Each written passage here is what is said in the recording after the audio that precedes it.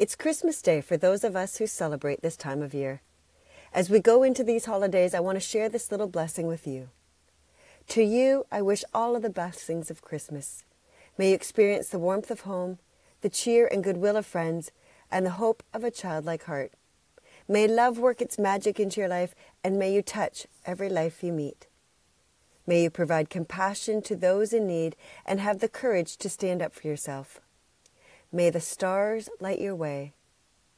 May you have unmatchable success in life and the ability to handle it with grace.